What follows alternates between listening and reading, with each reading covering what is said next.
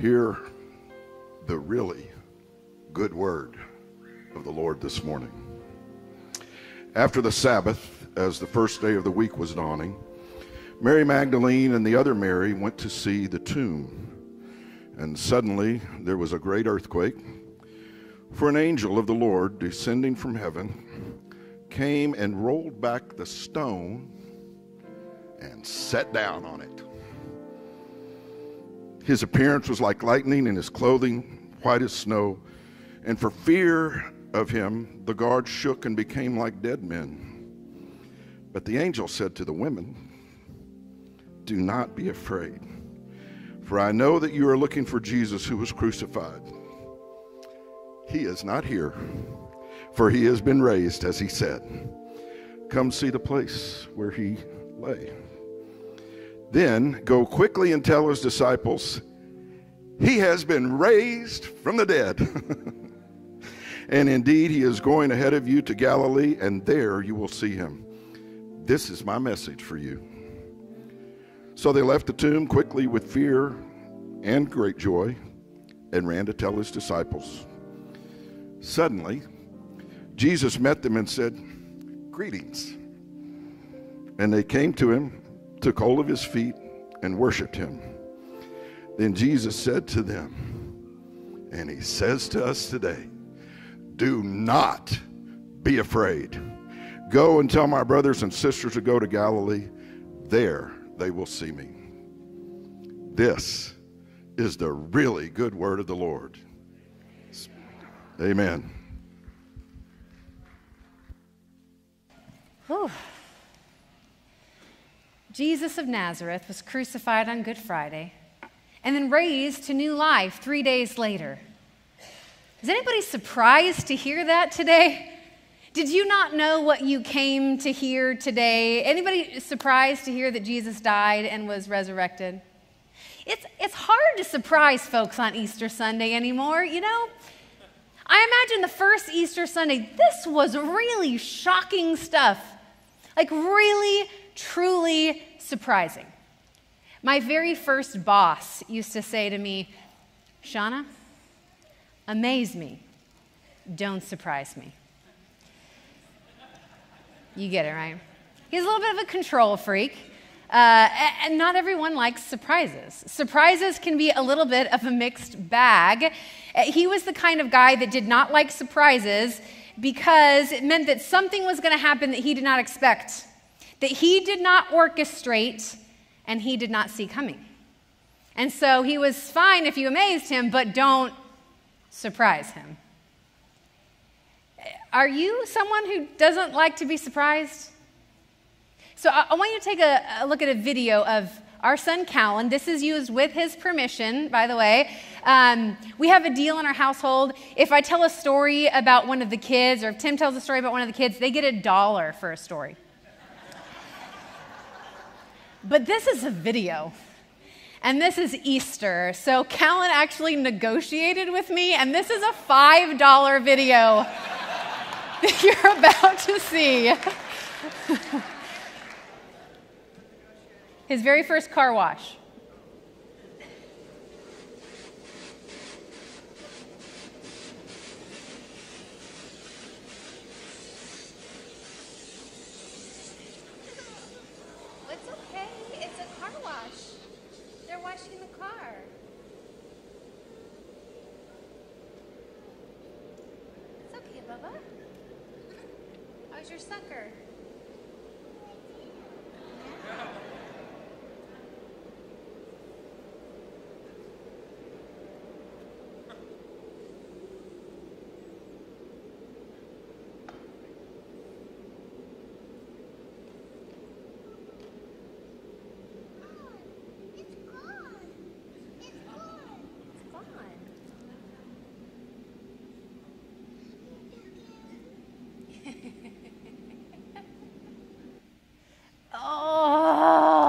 Be still my beating heart. So, okay, I won't embarrass him anymore.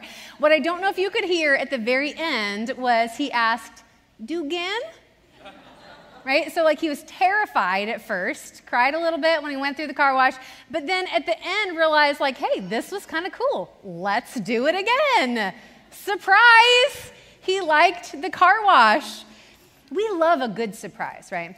I, I, we, we do really love a good surprise. There is a whole field of writers who write for novels and movies that have worked out all the tactics and techniques to surprise us.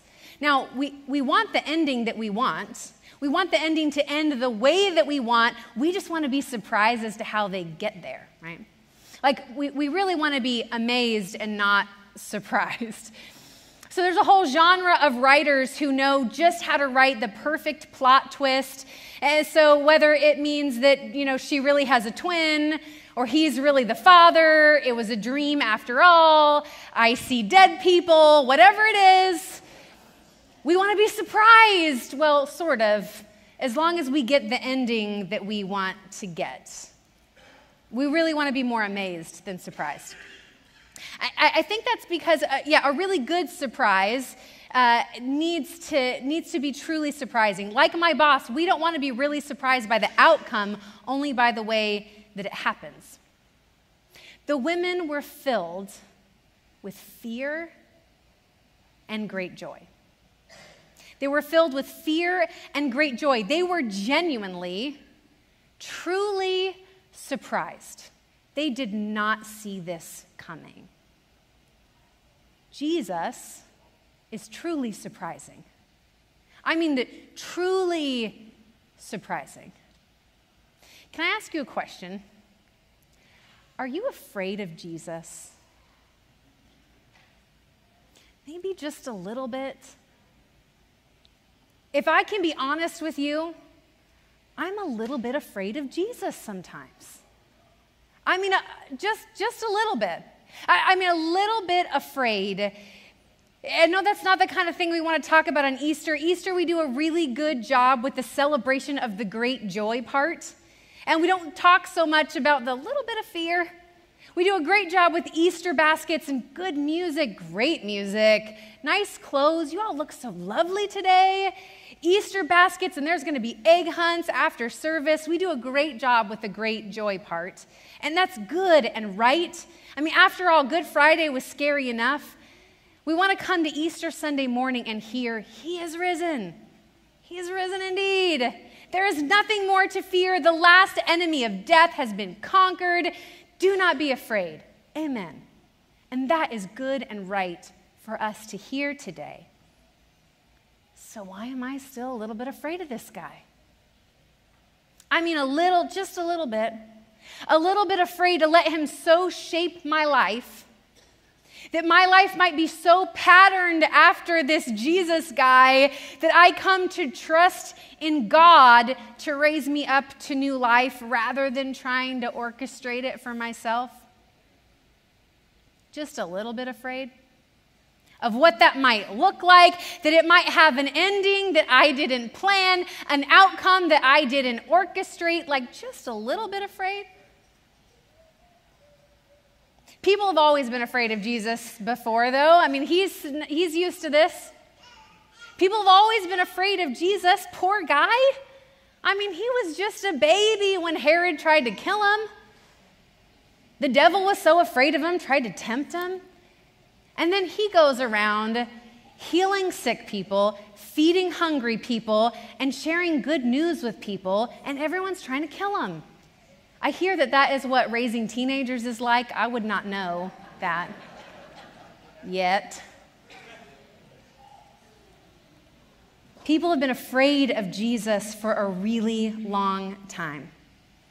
People are afraid of someone who is truly surprising. Jesus came to be king, but surprise, not the kind of king you expected a king who turns everything we think we know about power and authority on its head. He wasn't born in a palace, he was born in a stable. He didn't come in a war horse, he came in on a donkey. He didn't come to gain esteem of the rich and the powerful, but to give the kingdom to the poor and the powerless. And he wasn't lifted up on a throne, he was lifted up on a cross. I'm sure the ruling class of the day would have been perfectly fine if Jesus had come in and amazed them with his wisdom and his strength, maybe even his generosity and his kindness, that would have been fine.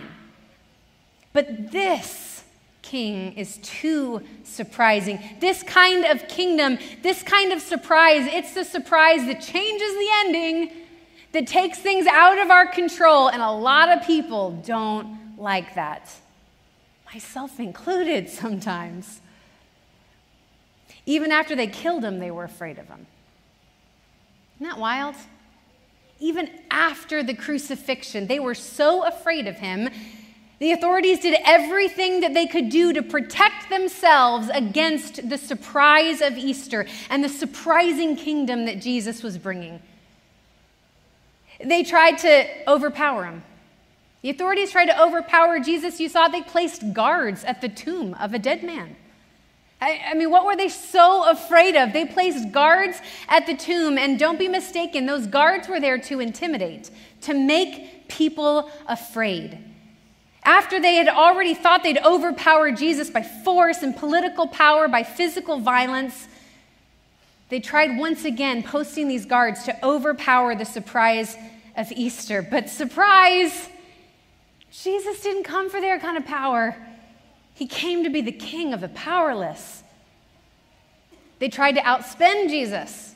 If we had read just a few more verses in Matthew's gospel, we would have heard that they actually paid people off.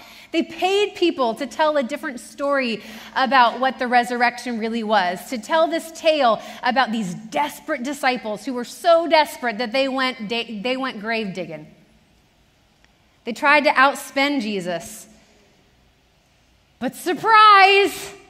Jesus came to be king for the poor. They tried to discredit Jesus. They tried to discredit Jesus, discrediting immediately the narrative of the disciples, undermining the disciples and his claims to be the Messiah. But surprise, Jesus didn't care about getting credit from them, anyways. In fact, the first people to be witness to the disciples were women who were not considered a credible source at the time. Jesus never even tried to make a case for himself. They were determined not to be surprised by Jesus. And surprises are scary. Surprises can be really scary, even the best surprises. When I first found out that we were pregnant with our first child, uh, it had been a couple days. I suspected that maybe uh, Tim was a grad student at the time. I didn't want to stress him out, so I waited until there was a day that I knew he was going to take the early morning train to his classes in Chicago, and he wouldn't get home until late that night. And so he took off on the train. I went and got one of those tests. Surprise, two blue lines. And so then I went out and got some stuff to tell Tim, like to have some kind of fun way to tell Tim, guess what? You're going to be a dad. And so I went out and got this little plant pot. And, and uh, I got some potting soil and a baby rattle and made it look like the rattle was growing in the plant pot, right? ah, I, I didn't even have like Etsy or anything at the time. I just came up with that. No TikTok. Man, how did we do cool things? Um, and, and, I got some markers and I wrote on the side of the pot, Love Grows More Love, which was the lyrics of one of our favorite bands at the time. I was so excited. So took the train uh, to his classes, which was just kind of north of the city. Or no, no, he had taken the train. So I drove to surprise him and to meet him at the end of his classes, and I was going to drive him back home. And so I, I showed up. What are you doing here? It's like, I want to take you to Pie and Coffee. So we went to Baker's Square. Does anybody remember Baker's Square? We went to Baker Square because we are the oldest millennials you've ever met. And we sat down to pie and coffee, and I got out this little potted plant and I put it on the table and I pushed it over towards him. He starts looking at the potted plant, and suddenly understanding dawns over his face, followed by fear, which I had expected. And so I waited a little while, and I thought that eventually he would smile or laugh or hug me or something. But pretty much the rest of our time there, he sat there staring at that potted plant, asking, Are you sure? How blue was the line? What's the percentage of accuracy of these tests? I mean, just like question after question. Five bucks. you, we'll make it 10. We'll make it 10. Uh, surprises are scary. Even the best surprises. Even the surprises that bring great joy. Sometimes, uh, because of the fear, we end up missing out on the great joy. And I don't know about you, but right now, in this moment of time, there's a lot of fear. Read an author recently who basically made a claim that this generation that we're li- this moment that we're living in is marked by fear and anxiety more than anything else. I don't know about you, but in this moment of time, I am tired of being afraid. I am deeply tired of being afraid. I am tired of carrying fear around in my body, in my bones, in my soul. I am tired of being afraid for my children, for my family, for my sisters, for our city, for my vulnerable friends and neighbors. I am tired of being afraid about the next tornado or the next election or the next invasion or the next Sandy Hook or Parkside or Uvalde or Covenant. I am tired of being afraid all the time.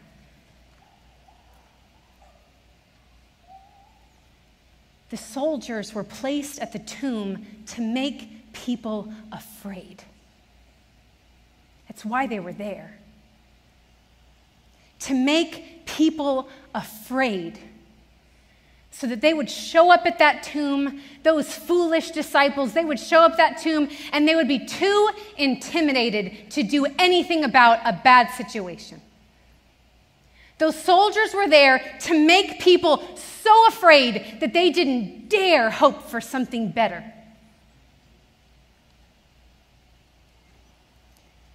The women who went to that tomb that day were probably really tired of being afraid. They were living in an occupied land where they had no control or say over whether soldiers might just show up at their house one day and demand to stay in their home and eat their food, whether or not they could afford it. They had no ability to control so much of what happened in their lives or the future of their children. And if someone were to wrong them, if someone were to violate them, the word of a woman was not permissible as a witness in a trial. They were overpowered, outspent, discredited, without even a chance to ask for it to be made right. But then one day, these women met Jesus. They met Jesus, and he dared to speak to these women, to listen to these women, to welcome women as his disciples. And it was as if he had been there in the very beginning when God created them in the divine image. They were there that day on the mount, even if nobody counted them in the record. They were there on the mountaintop that day when Jesus was preaching and teaching, preaching, Blessed are the poor in spirit, the kingdom of heaven. Blessed are those who mourn, for they will be comforted. Blessed are the meek, for they will inherit the earth. And to those women, it probably sounded like, hey, anyone in here poor in spirit? Surprise, yours is the kingdom of heaven. Anybody here today mourning? Surprise, you get to be comforted. Hey, anybody here meek, like really meek, like you get treated like a doormat on the regular? Surprise, you get to inherit the earth. It's like the best day to get tickets to be in Oprah's audience. He's just giving stuff out to all the wrong people. And those poor in spirit women, they were now inheritors of the kingdom of heaven. And they had found their Savior, someone who was for them and with them. And they followed him and they fed him and he fed them. And even at one time, when one of them dared to leave the kitchen and come and join the men at Jesus' feet, she wasn't scolded, she was commended. So it's no wonder that when everyone else deserted Jesus, the women were the last ones at the foot of the cross, watching in fear and despair. As Jesus was crucified by the same powers that had been overpowering, outspending, and discrediting them their whole lives. And it's no wonder the women were the first ones at the tomb. When it was still dark outside, scary dark outside, the women were the first ones at the tomb. I wonder what it was like when they got to the tomb to treat Jesus' bodies and they saw those Roman soldiers there the same soldiers that had put him up on the cross. I wonder what it was like when they saw those soldiers who were so clearly put there to make them afraid. Obviously, put there to intimidate them so that they wouldn't hope for something better. I wonder if they were so tired of being afraid. I wonder if one Mary turned to the other and said, Hold my earring.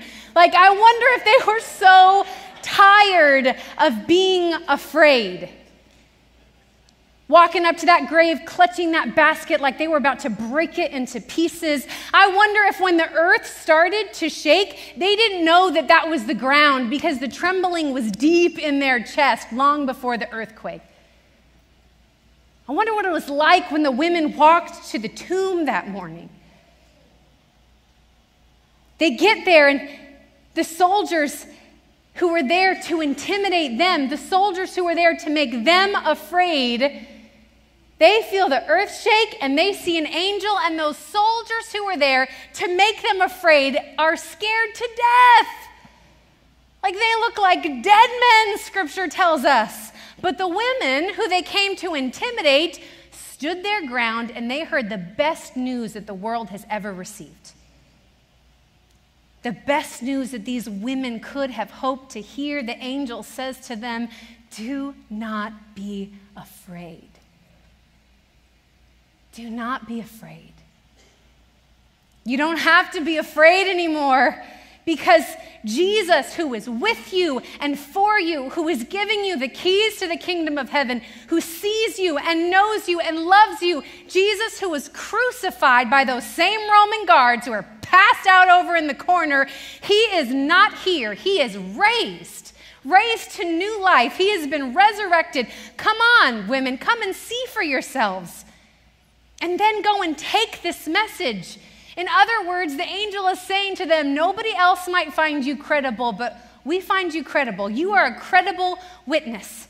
Justice has come, righteousness has prevailed, and you don't have to hide in fear anymore.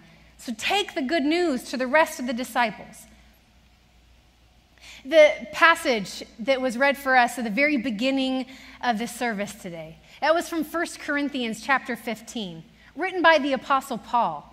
It was from the message, so it might have sounded a little bit different, but it was written by the Apostle Paul, and you might have noticed that the Apostle Paul, he mentions Jesus appearing to Peter and James and the rest of the disciples. He doesn't mention anything about the women. And scholars would say that the reason he doesn't mention anything about the women is because he's trying to lay out a credible case for the resurrection. And women were not credible witnesses Y'all understand that God cared more about these women than getting credit for the resurrection of Jesus. God cared for them. And the women carried that message with a little bit of fear and with great joy. They carried that message. But before they even made it to the disciples, Jesus surprises them again, meets them on the road, and guess what Jesus says to them? Don't be afraid. Jesus says, Do not be afraid. Jesus is truly surprising. You see, the resurrection of Jesus is good news for people who are tired of being afraid, who have been overpowered, outspent, and discredited. For people like you and me who carry fear in our bones, the kingdom of heaven is for you.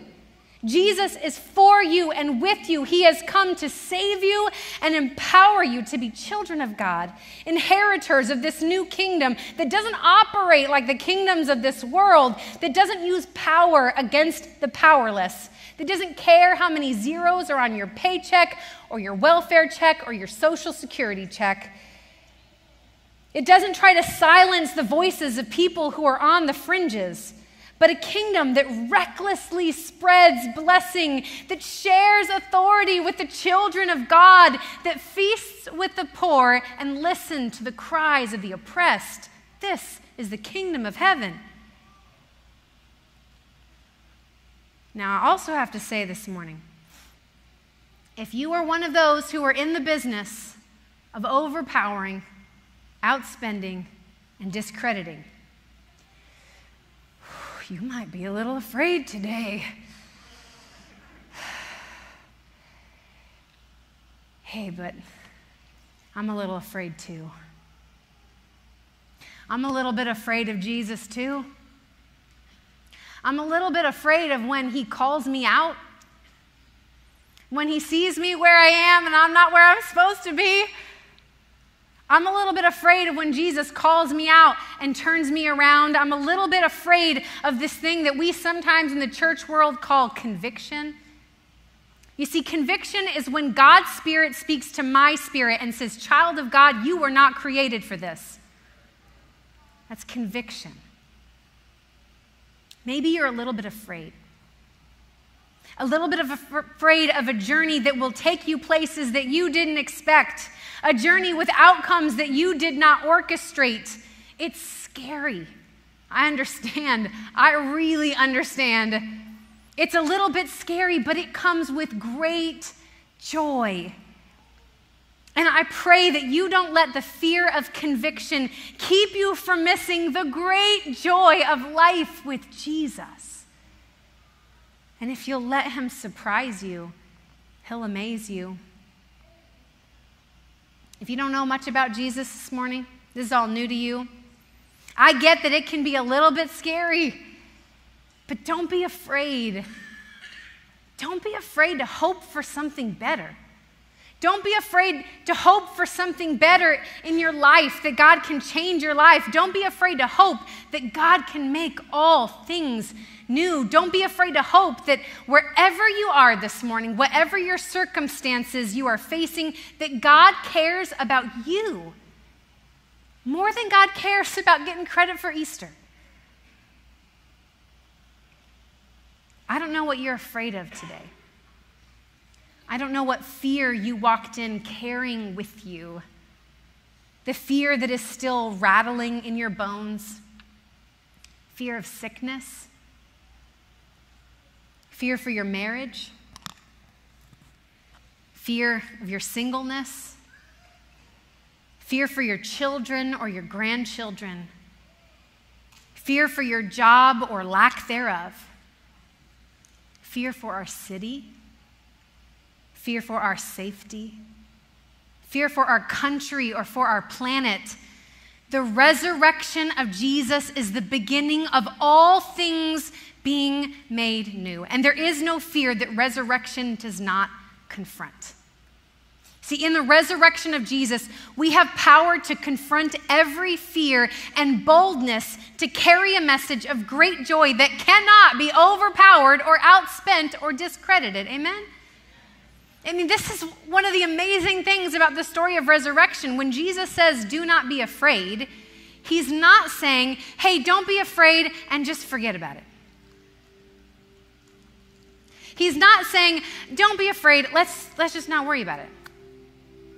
This is not a message of, uh, you know, let's just try to be in a state of zen no matter what's happening in the world around us. No, he's saying, don't be afraid. And here's your message to go and do something about it. That we live in this resurrection power, that we are empowered and emboldened to carry a message of hope that speaks back to the forces of darkness and evil in this world, a message of hope that pushes back in the face of fears, a message of hope that's been given in the power of the resurrection of Jesus that cannot be stopped by sin and death, no matter what. You have been given the keys to the kingdom of heaven. You have been called a child of God, invited to be heirs to the throne, and you've been given boldness. You've been given boldness to ask that God's kingdom would come and God's will be done here on earth as it is in heaven. That means we have every right to look around at the stuff that makes us afraid and to hope for something better. We have every right. We're children of God. You're a child of God. Now, that also doesn't mean that we get to orchestrate, control, and manipulate the way the rest of the world runs and operates. It just means we don't have to be defeated by it. Because we have a king who is undefeated. We have a king who went to the cross, who came not seeking power, not seeking money, not seeking fame or glory, but to do the will of the Father this morning, we just want to give you an opportunity if you'd like to come and pray. I, just, I felt this so deeply in my bones this week reading this word about fear and great joy and the tension that you are probably living in today. The tension of this Easter Sunday morning. If you'd like to come and to find a place of prayer, to just be honest with God about your fears spiritual fears, maybe, about not being sure whether or not you can give your life to Jesus and follow him. Fears about sickness, fears about relationship, fears about what happens next. In fact, if you'd like, there's going to be pastors on the far side of either altars, on either side of the sanctuary. If you just need somebody to pray with you today, a pastor who you can say, eh, Will you pray about this? This is what's going on in my life today. There's somebody that's here to pray for you. But if you would just like a place on your own without anybody messing with you or bothering you, these, these middle altars here, that's just for you, where you can come and tell the Lord what you need to tell, where you can come and speak those fears, speak them out loud, trusting that God will hold them. God will be near to you, even in those fears. There's resurrection power for you to speak back to the forces that make you afraid. So if you'd like to come today and find a place at one of these altars, Pastor Jordan is going to lead us in a song. We're going to sing the words I'm no longer a slave to fear. I am not imprisoned or chained up by fear any longer. And maybe for the first time today, you just need to say that you're ready to be a follower of Jesus. You've been a little bit afraid. Maybe you heard about it. You were invited this morning. Maybe you're even just tuning in online to see what this is all about. But you'd like to become a follower of Jesus. Can I say, do not be afraid to hope for something better? Don't let fear stand in the way of great joy. Whatever God has on your heart today, whatever fear you are carrying, if you would like a place of peace to come and to pray and to offer that, this is your moment. So, would you come and find a place where you can pray today as these words to this song become our response, speaking back to the fear of this world?